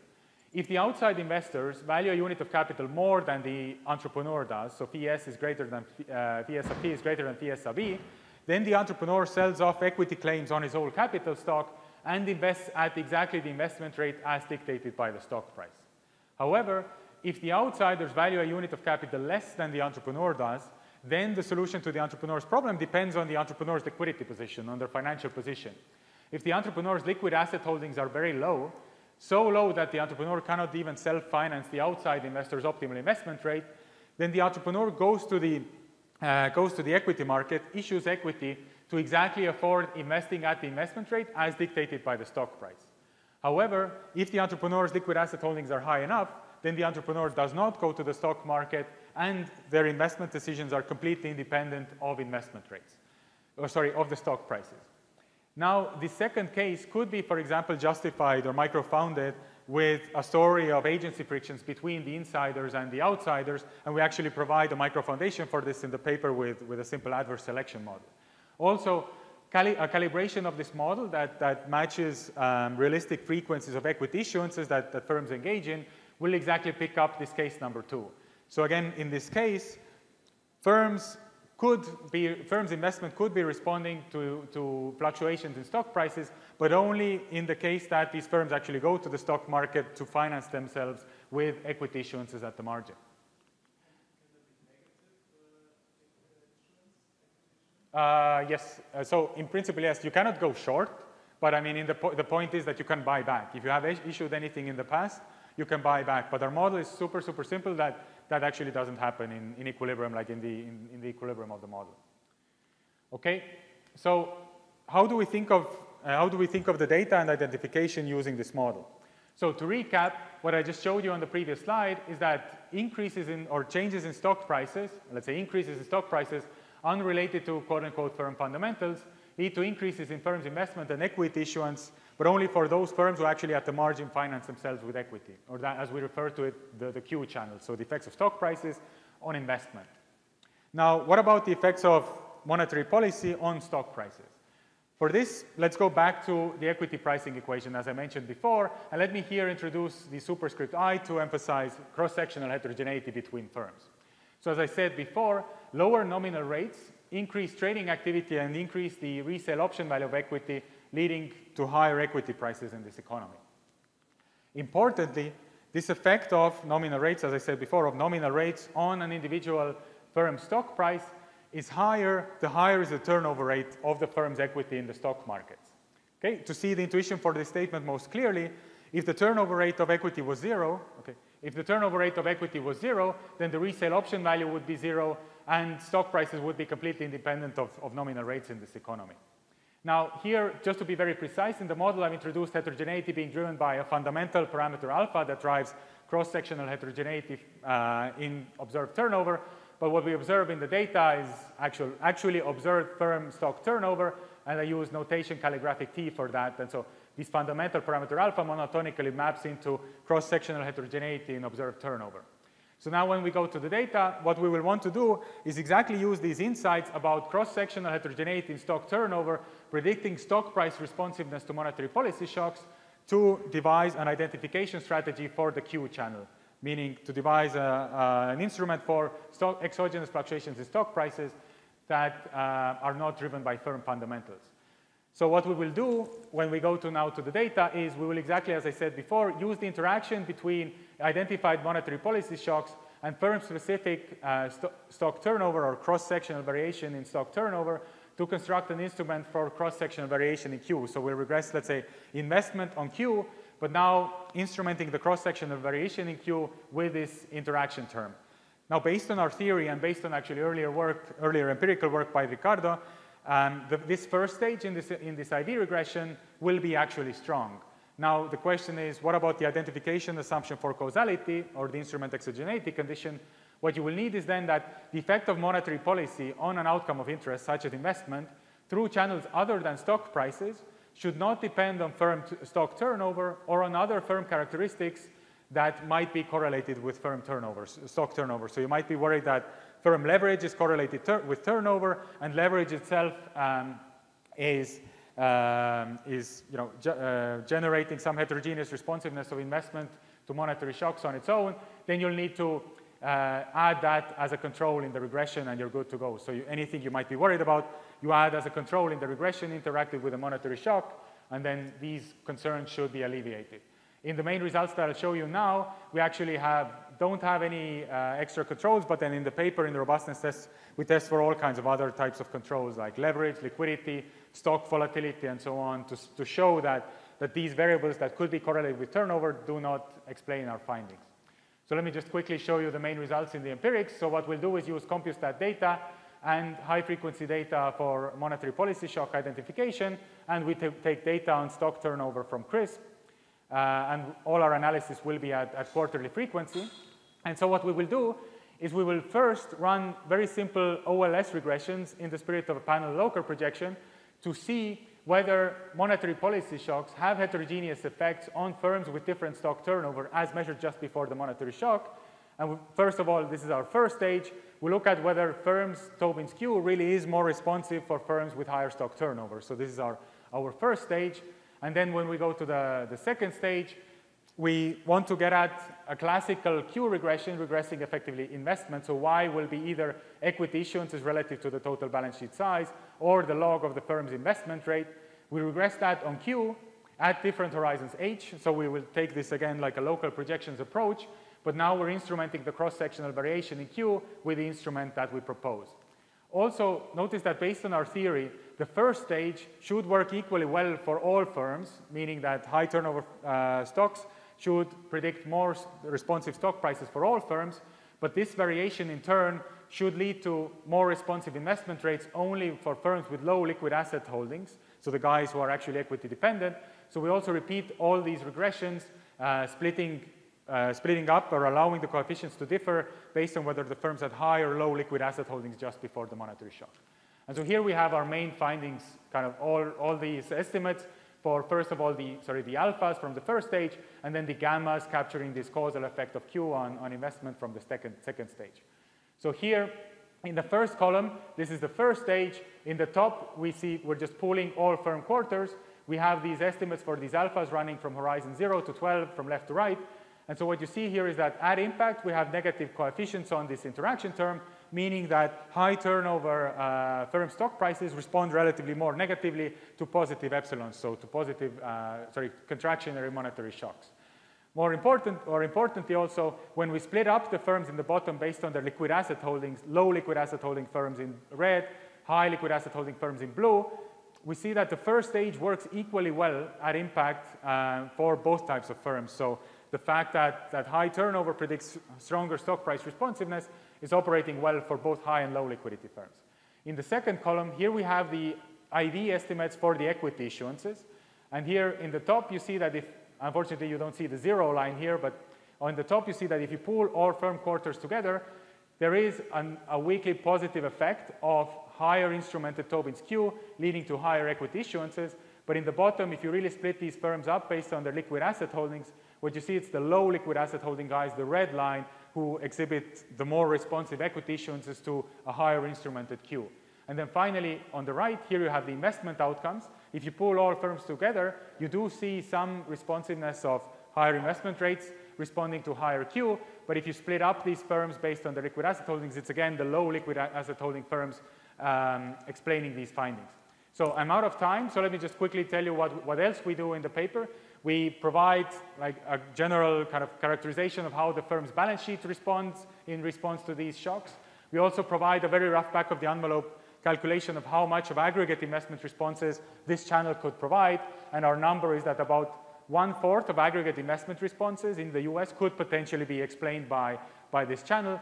And then finally, what we do, we take a quantitative version of the model, calibrate it, have heterogeneous firms, and we compare the model's response to our instrumented IV responses. And so in the model, we only have this channel responding, and we find that our reduced form estimates, like our fully, fully reduced form estimates, are very much in line with a fully quantitative calibration of a model that was not set up to match these findings, but only has this channel, and they seem to line up well as well. So sorry I ran over, so let me stop here and, and take any questions that, that might be left over as well.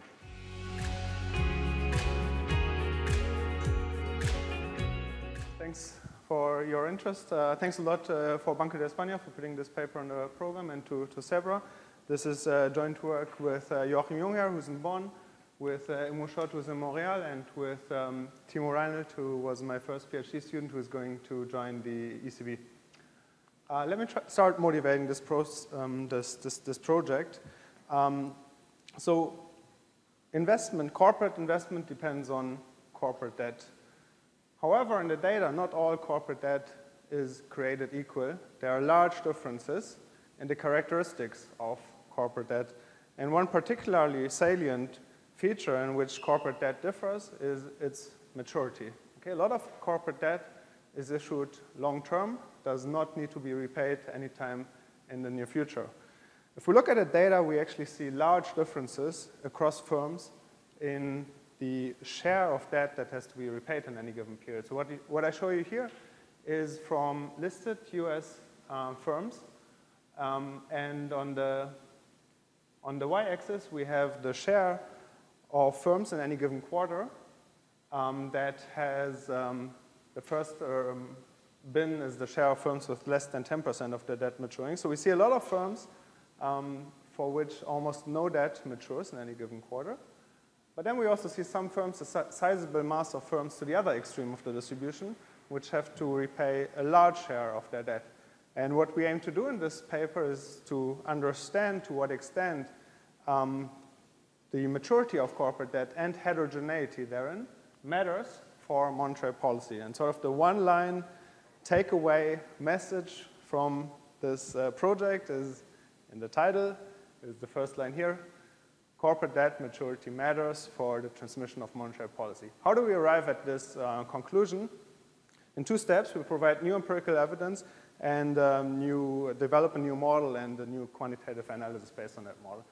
Empirically, we show that firm investment is significantly more responsive in periods in which a larger fraction of the firm's debt matures.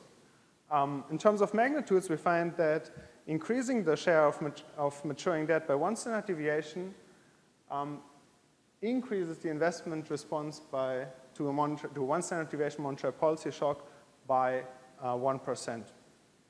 Okay, this really, this, this, this evidence, we, we think it's interesting per se, but it motivates us also to, to try to understand why this is happening and to try to understand what this implies at a macroeconomic level. Okay, and that's exactly why we develop a, a, model. So this is a new Keynesian model that is populated by heterogeneous firms which um, choose the maturity um, of their debt by choosing a combination between short and long-term debt. Um, and in this model, debt maturity matters for the response of each firm to a monetary policy shock through two channels, which are um, rollover risk and debt overhang channels. So the rollover risk channel describes the fact that if you have a lot of debt maturing in a, in a, in a given quarter, and now the interest rate increase, that is a larger, relatively larger shock to your cash flow, re relatively larger reduction to your cash flow, and that may translate into lower investment. Um, while the debt overhang channel, in contrast, describes the response of, um, of credit spreads. The more, long, the more long-term debt there is, the more credit spreads respond to a negative um, monetary policy shock. Uh, now this model um, is calibrated to US microdata, um, and it does a pretty good job in replicating non-targeted moments, including uh, explaining the empirical evidence. At the macroeconomic level, we show that um, monetary policy is substantially more effective in um, you know, uh, affecting ag aggregate GDP um, once we account for debt maturity and heterogeneity therein. Okay? So how do we contribute to the literature? We um, relate most closely to three strands of literature. We relate to an empirical literature that tries to understand how debt maturity affects investment during recessions. We relate to an empirical literature that tries to understand how monetary policy differs across firms related to the financing conditions of firms. And we relate to a, to a new Keynesian literature that tries to understand the role of financial frictions. And then our contribution here is really to bring together monetary policy shocks uh, and heterogen heterogeneous and endogenous debt maturity. Um, let me now mo uh, move on to the main part of the, this presentation and first present to you the empirical evidence. And let me start with the data. So the data we use is a combination of two data sets. We combine CompuStat firm-level balance sheet data with detailed bond-level data from the, the so-called FISD database. Um, so the advantage of this uh, FISD level data is that we can really observe an individual contract, an individual bond contract, and we, we observe its, its, its characteristics, while CompuStat data only has more aggregate information on total stocks of, of, of debt. Um, our final sample is a, is a sample of bond issuing um, firms, which is a restricted sample of, of CompuStat, which by itself is restricted, but these firms account for 50% of total uh, debt in the US, so you know, we restrict the CompuStat sample to the largest firms, um, which we have, well, which we have to if we want to look at um, bond issuing firms. Um, our sample size is sort of restricted by using high-frequency identified monetary policy shocks. That that's why we started in 95. And I just want to, to, to briefly mention that uh, these bonds are, um, have pretty long maturity on average. So at issuance, they have a maturity of nine years. And in, in our sample, they account for about 60% of total debt of these firms. So they are the primary source of external finance. Now, a key, uh, a key object in our empirical analysis is the script M which is the maturing bond share of firm I in quarter T, for which we divide the debt or the bonds maturing of firm I in, within the quarter T by the end of preceding quarters stock of total debt. now, what do we do with this? Here's the question. So the, the um, numerator is based on F FISD, the denominator is based on CompuStat. Okay, so, but, and that's the maturity that we just picked up at nicely, so it's the contractual maturity. But what I've learned is like firms often pre- prepay that. Oh yeah, yeah. So that's a, that's that's a big issue. So we, we make sure that uh, we actually use um, well we we compute the actual maturing bonds, by which I mean that we need to take into account that some bond, bonds are callable and some bonds are called before maturity. So we do take care of that. Um, okay, so what do we do with this? I, I mentioned before that script M is sort of a, uh, plays a key role in our empirical analysis. So what do we do with script M? We throw it into this regression. In particular, this, this term here is key. Um, we regress um, growth rates in capital, in firm level capital, on an interaction between um, a high frequency identified monetary policy shock, epsilon TMP, interacted with um, the maturing bond share, script M. Okay, so the, the key object of interest is uh, beta 1H. Okay, so beta 1H captures the differential investment response um, of, of a firm uh, with a higher maturing bond share to a contractionary monetary policy shock. Okay, and on, and on average in our sample, um, the response of um, firm investment to a monetary policy shock is negative. So if we find uh, a negative beta 1 coefficient, it means that firms respond more strongly with more maturing debt, and if beta 1 is, is um, positive, it means uh, firms respond less strongly. Here's what beta 1H, our estimated beta 1H from zero to three years after the shock looks like. Um, so the blue line is a point estimate, and the shaded area are the 95% uh, confidence intervals clustered by firms and, and quarters. So the point estimates are negative, um, which means firms respond more strongly to a contraction of monetary policy shocks in periods, periods in which more of the debt matures. And the, this differential response is pretty significant. Okay, so we are, it's, it's clearly significant at the 5% level between, uh, let's say, one and a half years and three years after the shock.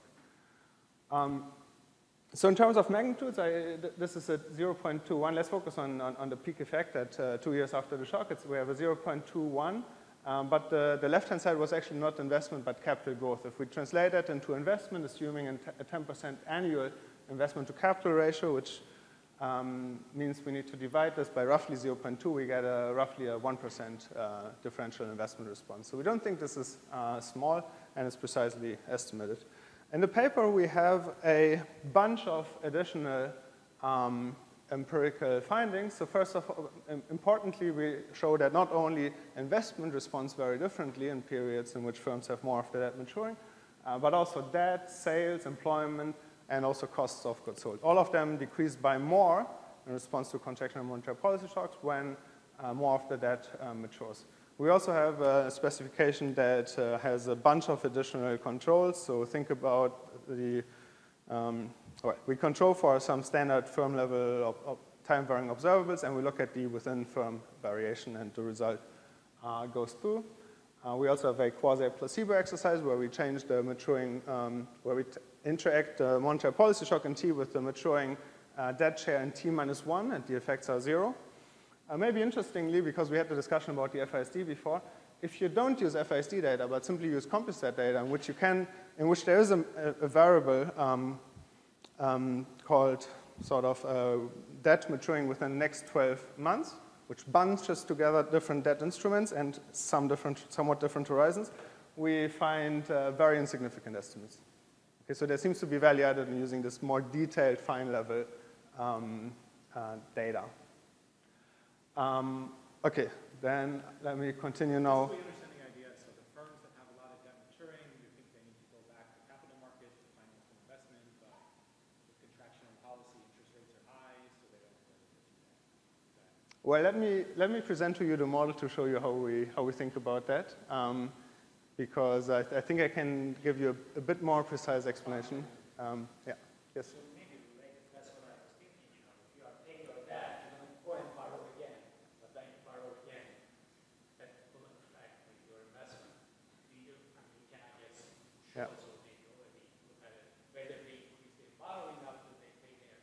Yeah, so that goes down. There's a differential debt decline. Okay, so these firms, they uh, borrow, they hold less out, uh, debt outstanding. which could come from two, well, okay, let me again preempt the, the channels in the model, which could come from two channels. Uh, one of them is a, is a rollover channel. If, you, if more of your debt matures and interest rates are higher, it means you have a larger contraction in your cash flow, which may translate into less investment and less debt, potentially. Um, and the other one is a debt overhang channel, which operates through um, credit spreads. Okay, both of them uh, are present in, in this model, uh, which we use to interpret the empirical evidence and think beyond that. Um, maybe just briefly, once again, why do we need a model? So I think the empirical evidence is interesting per se. It tells us something about the cross-section of firms. Okay, so if that's our object of interest, how do firms respond differently when more or less of their debt matures? The empirical evidence answers it all, and we can stop here and we can go have a beer. Um, but instead, if we, are, uh, if we want to understand why the empirical evidence arises, why the empirical estimates are as, I, as I've shown you, we need a model, we need theory. And if we want to understand uh, macro implications, it's even more necessary to have, a, to have a model. Um, what do we need? What needs to be in a model in order to address the empirical evidence and go beyond it? Uh, well, we need heterogeneity in firms. Um, and the empirical evidence about cross-sectional differences. We need financial frictions. We want to break um, uh, Modigliani-Miller here. We want the capital or the financing mix to matter. We want th that maturity to be a choice. Okay, we don't, uh, well, we could assume it to be exogenous, but I think it's intellectually more appealing here to, to have that, uh, to, to let that be endogenous. And we clearly need a role for monetary policy. Uh, and how we do, do, we do this? Uh, let me start from the back. How do we have a role for monetary policy? We follow the uh, Ottonello-Winberry approach of having a new Keynesian block um, with uh, sticky prices and, and a Taylor rule um, quite uh, similar to, um, to uh, your um, um, assumption of the splitting these two blocks. And then the, the, the, interesting firm block consists of heterogeneous firms. Firms are ex post heterogeneous because they receive idiosyncratic productivity and capital quality shocks. Firms, uh, the financial frictions come in the form of limited liability and costly default, which in the presence of long-term debt leads to debt overhang. Uh, and firms can choose, well, choose their debt maturity to the extent that they can choose between a short-term debt contract and a long-term debt contract with fixed maturity. And then a mix between these two types of uh, debt contracts uh, determines uh, uh, maturity. And they can also uh, issue equity. Okay? Um, okay, so let me focus. So those are sort of the, the main agents of the model. Let me just focus on the production firms, which are the firms that are heterogeneous, subject to frictions, that are the most interesting part of the model. Uh, these firms produce using a decreasing returns to scale Cobb-Douglas production technology, where Z are um, firm-specific productivity or profitability shocks. Uh, and then these firms' profits um, um, feature these capital quality shocks, epsilon, and sorry, and the firms are subject to fixed um, costs of operation, which can lead to um, exit. Um, the firms choose um, a financing mix in order to uh, finance new investment the, or the, the capital stock next period.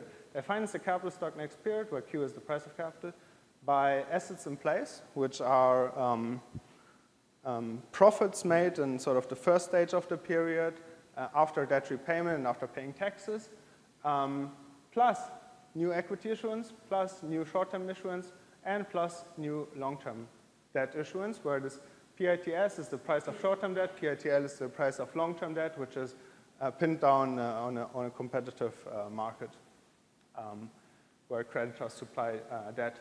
Now, for long-term debt, only a fraction of that debt matures. Okay, so we use the st standard modeling trick to keep the model a bit more, more tractable. So a fraction um, gamma matures, the fraction 1 minus gamma persists into the next period, and we assume that is um, um, denominated, uh, that is nominal, so uh, the, real the real value of that the real value of that long-term debt held last period, today, uh, needs to be adjusted by the inflation rate pi t. um, sorry for the typo, should be financing trade-offs. Uh, so what are the trade-offs here? Um, the trade there's a trade-off between debt and equity, which is a sort of standard uh, trade-off. There's a tax advantage of debt because debt coupon payments are tax deductible. But on the flip side, the more debt you hold, the more prone you are to default, and default is, uh, is costly. Um, the more interesting trade-off in this model uh, is the one between short and long-term debt. Uh, so on the pro side of, of long-term debt, um, long-term debt is issued once and then remains, remains outstanding for longer. So put it differently, if you issue short-term debt, you need to repay issuance cost every period. If you roll over short-term debt, if you want to keep a const constant level of short-term debt, that's costly in terms of issuance cost than if you keep a constant level of long-term debt. So that uh, favors long-term debt, but on the, on the counter side, um, debt overhang favors uh, short-term debt. Um, in the presence of, uh, so the firms have a commitment problem. They would like to commit to not raising leverage um, and promise that to a new investor of, of long-term debt, but they can't. So ex post uh, long-term debt is outstanding, its legacy is not taken into account when choosing optimal uh, leverage, and firms will end up choosing more leverage, accepting higher default uh, risk, and therefore um, in investing less. Uh, this debt overhang channel, so this is sort of the debt, the debt overhang channel I described here is the debt overhang channel in the steady state of the model. But this debt overhang channel is, there's also, the, the, this debt overhang channel also responds to monetary policy shocks. Okay? um, okay, let's jump to the quantitative analysis. Um, the calibration, I, I can't, in the interest of time, I can't give you details, but uh, we target some cross, mostly cross-sectional averages in, in CompuStat data of leverage, credit spreads, and long-term debt shares. Uh, but the model does a fine job in replicating um, cross-sectional differences across firms. Let me show you a few, few figures that compare data and models. So we have the leverage distribution across size quartiles. So these four different buckets are size quartiles. Uh, we, we explain some of the differences in credit spreads across size groups. Uh, and uh, this is the share of debt that is due within a year. We also explain some of those differences and some of the age differences in the data. Um, this is the um, comparing the empirical evidence, the empirical, empirically estimated beta 1, that's the blue solid line. We compare that in this figure with the same estimated beta 1h based on simulated data from the model, and that's the red uh, dashed line. Um, and we're quite happy that the model does a pretty good job in, in, in matching uh, sort of the magnitudes and uh, also some of the persistence um, in, the, um, in, in, the data. Okay? Um, well, the firm-specific um, productivity shocks are uh, persistent. That drives um, persistence in the, in the aggregate in the aggregate response. Okay, the, um, the firm distribution, the endogenous firm distribution moves slowly in response to aggregate shocks. Yeah. So on impact, all of the terms respond the same in the model? No, no, no, they don't. No, no, if they, if they did, um, no, no, sorry, sorry, this is the beta 1H. So this is the um, differential response of uh, capital growth to monetary policy shocks for firms with a higher maturing debt share. If there were no differences in, in, in MIT, this uh, uh, wouldn't even be identified. Okay, so there are differences in the maturing debt share in the, in the model. Um, yes. Well, no, it's, yeah, it's close to zero. Yeah. So we do have, um, we do have capital adjustment, we have quadratic capital adjustment costs. They uh, generate some sluggishness in the aggregate um, responses and also at the firm level. Yeah. They're at the aggregate level. Yeah. Um. Okay, so here are um, the uh, aggregate uh, responses. Uh, this is just to the aggregate responses to a monetary policy shock. This is uh, predominantly to show you that the model behaves, especially the first uh, row here is to show you that the model behaves as you would expect a New Keynesian model uh, to behave, even though it has this rich, firm maturity side. So GDP consumption investment go down, real interest rates. The real interest rate goes up after a contraction monetary policy shock. Um, but then on, on, on, the last part, we sort of, well, we have outcomes that uh, are not present in the standard model. We see that leverage increases, um, coinciding with higher default rates and uh, differential movements in short-term and long-term credit spreads. Yes?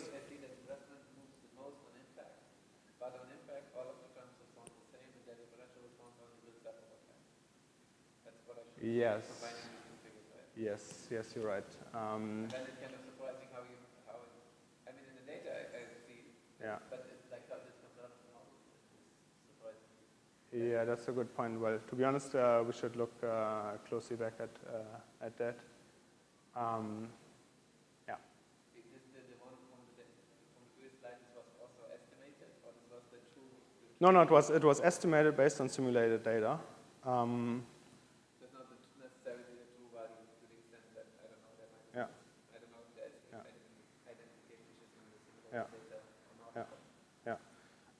sure. What kind of firms actually issue longer, you know, more long-term debt? Like, you didn't show anything about that. Is it more productive firms? Yeah. So I mean, okay. So th th this, uh, um, so this is the largest. This group here is the group of largest firms. Okay, these are the most productive firms. That's why they're the, the largest in the model. Uh, these firms actually have the most uh, leverage. Uh, they also hold, uh, they, and at the same time, they pay the lowest credit spreads. Why? Because they are the farthest away from, from defaulting, um, and they take most advantage of the tax advantage of debt. Uh, at the same time, they hold uh, most long-term debt because they, again, they are less affected, they have lower default risk, so the debt overhang uh, channel is less uh, important for them. Okay? I hope that answers some of your questions. Um, okay, so here is the, um, here are actually the, the responses of, um, well, we split the sample into firms above and below the median of, of M, and you see that on, on impact, these, these firms, well, um, I think, yeah, now that uh, I think about it again, I think there's actually, there's, this, I think there is a mistake here, to be honest, but uh, because we, yeah, I'm, I'm, I'm trying to figure this out. Uh, we, we, this, we actually have this on our to-do list to check whether maybe the timing in the firm level uh, responses is, is, is wrong by one, uh, by one quarter. That this, this would actually be the, the, the response, the period zero response. So this is something we need to check. Uh, you were spot on. Uh, okay, so these firms, um, to, under, to try to, to understand uh, where, where this um, um, model, where this model betas come from, we, we want to, I want to, to, invite you to look at this, these two figures. So we see that for firms with, um, with a high maturing debt share, their capital growth is strongly negative, while for the firms with a low maturing debt share, it's even slightly positive. And this can be linked to, um, or this coincides with credit spreads res responding very differently. Um, and I'm out of time, so let me just argue that um, the previous evidence and, and, and the composition we conduct shows that or suggests that the debt overhang channel is the predominant channel in understanding the differential investment response and not so much the, that, the rollover risk channel. And uh, just shortly, let me show you this, this, this figure. So GDP, th this is compares the GDP response in the benchmark economy, which is sort of our full economy with heterogeneous firms and debt maturity choice, with two, kind of, with two alternative models that are recalibrated to match so, um, the same moments. Uh, one without um, firm heterogeneity. Okay, all firms are identical. This kind of corresponds to Gomes, Jermann, Schmid's 2016 paper. And one with, without long-term debt. Okay? This kind of, it's different, but it kind of corresponds to Otto Winberry. Uh, and what, what you see is that the GDP response is substantially uh, smaller in these alternative models that either don't feature long-term debt or don't feature heterogeneity. Um, and uh, with that, I conclude. Thanks. So, uh, when, when you were like studying the mechanism, you, you showed those potential responses for high and low end firms. Mhm. That's, that's something you can check in the data as well, right? I can just split the sample to high end and low end. And Yeah. and also spreads. Um, yeah, so spreads is something that is uh, that we are currently working on to collect the spreads and look at uh, the response of spreads. This is, And related to spreads, one thing that I, so in your, in your result, it seems that the short-term spreads will be more, Mhm. more than long-term spread, but given the, given that the debt overhang in the first mechanism, I would expect it to be opposite. Because long-term bonds are going to be less relevant to pricing than the expectation of future debt. Well, okay, so there are a lot of things going on. Um, one thing is um, annualization. Okay, so long-term debts are around for longer. Uh, this relates to, to work by Johannes Poeschl. Um, you know, if you, if, if you have a sort of, think of a transitory shock, the short-term, the annualized short-term um, spreads can respond by more than the long-term uh, spreads if there is no default risk in the future. The other thing that is going on is that um, uh, was a composition of, of firms. Uh, the firms that hold more long-term debt are safer firms on average. Um, okay, so that, that, that's what I showed you with the, with the histograms.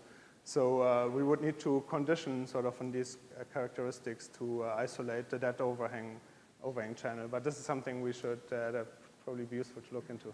Yeah. Yes.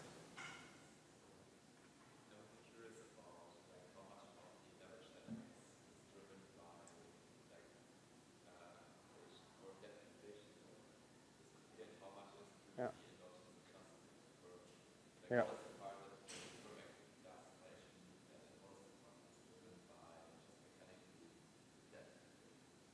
Yeah, so the, um, at some point we, we did the um, counterfactual exercise in which we turn off, um, in which we assume that corporate debt is real and not nominal.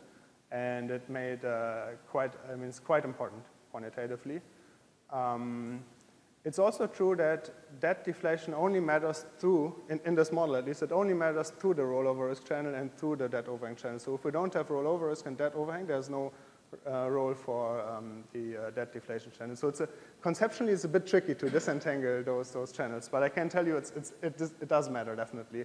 But it is the um, realistic uh, way to, to model corporate debt to have that nominal. You had a question? Just, yeah, very quickly. So, you know, it's mostly the bigger firm, biggest firms who have the highest amount of longer term debt. That means those are firms usually have the highest share of their long-term debt maturity, right? Um, no, the lowest share, because they hold more long-term debt, so less of their debt matures in any given period. Short-term, 100% of short-term debt matures, only a fraction of uh, long-term debt matures in any given period. So, okay, so then I guess the question is whether you are controlled for the firm side, right? Because just the fact that Yeah. you have small firms Yeah. having So empirically, I, the, the evidence, you, you, this is a question about the empirical evidence, right? Yeah. Um, so the empirical evidence um, that I showed you does not control for firm size, but in fact the result goes through if we do control for firm size. Now, in the model, um, firm size is very strongly correlated with um, productivity and, and, and, default risk of the firm. Uh, in the data, I think we also uh, capture um, other things um, that uh, firm size uh, may, uh, that may depend on, on, on firm size, uh, potentially regulation, potentially taxes um, that, that differ. Um, so it's a, yeah, it's, I'm not sure that, that helps you understand. No, no, yeah, I guess it's important because Yeah. small firms will have higher default Yeah. after they mature in the model, I can see that Yeah. that's why they're gonna decrease maybe their. Yeah, let me just uh, let me just make, make one maybe final final statement on, on to, in, in that extent, just to make sure that uh, this uh, didn't come um, that I didn't leave a, a, wrong impression on the empirical evidence. So we don't want to I don't want to push uh, the notion that the empirical evidence is causal. Okay, and in fact, the model suggests quite the opposite. Okay, in the model that maturity is endogenous, um, and it reflects things like different default risk.